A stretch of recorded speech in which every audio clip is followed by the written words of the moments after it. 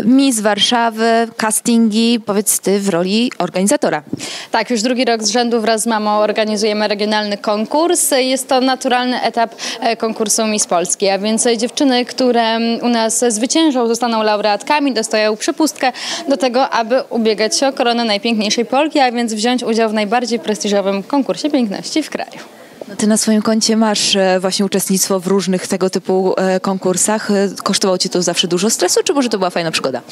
Ojej, mnóstwo stresu, szczerze mówiąc, ale i fantastyczna przygoda. Ja najbardziej tak przyjemnie wspominam oczywiście konkursy Miss Polski, aczkolwiek rywalizacja była spora, szczególnie im bliżej było finału. Na początku wiadomo, wszystkie się przyjaźniłyśmy, mm, trzymałyśmy za siebie nawzajem kciuki, ale im dalej w las, no tym więcej tej rywalizacji się pojawiało. Na szczęście ja jakoś nie zostałam dotknięta osobiście jakimiś wrednymi zachowaniami ze strony innych uczestniczek. Ja wspominam to bardzo dobrze i też myślę, że organizatorzy nam zawsze zapewniali takie poczucie bezpieczeństwa, że jeżeli jakaś dziewczyna nie była fair, no to po prostu żegnała się z konkursem. Do tej pory e, trwają przyjaźnie. Dziewczyna, która wygrała w moim roczniku, Kasia Krzeszowska, Miss Polski, e, teraz e, się razem trzymamy i wspieramy w swoich biznesach. Jeśli chodzi o konkursy zagraniczne, było różnie. Jak byłam na konkursie Miss Globu, fantastyczna przygoda zdecydowanie, ale mnóstwo pracy. Zdarzały się też, zdarzały się sytuacje między dziewczynami bardziej napięte. E, Kłóciły się, e, podkradały sobie ubrania, a więc to nie są żadne tutaj spekulacje, tylko tak naprawdę było.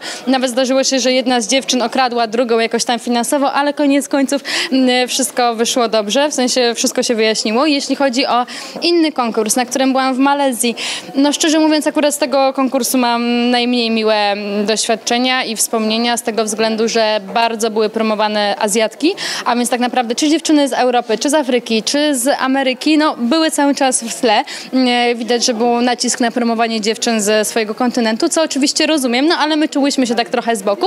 E, Jeśli chodzi o rywalizację, oj, tam była naprawdę spora rywalizacja, plus e, no taki można powiedzieć mini reżim. Nie mówię tutaj już o paleniu papierosów czy piciu alkoholu, które był absolutnie zakazany, no ale naprawdę musiałyśmy meldować się wszędzie 24 godziny na dobę, o wszystkim informować i tak naprawdę w ogóle nie mogłyśmy w ciągu dnia mm, korzystać z telefonów komórkowych, a więc też był utrudniony kontakt bardzo z rodziną, bo po prostu były nam zabierane te telefony.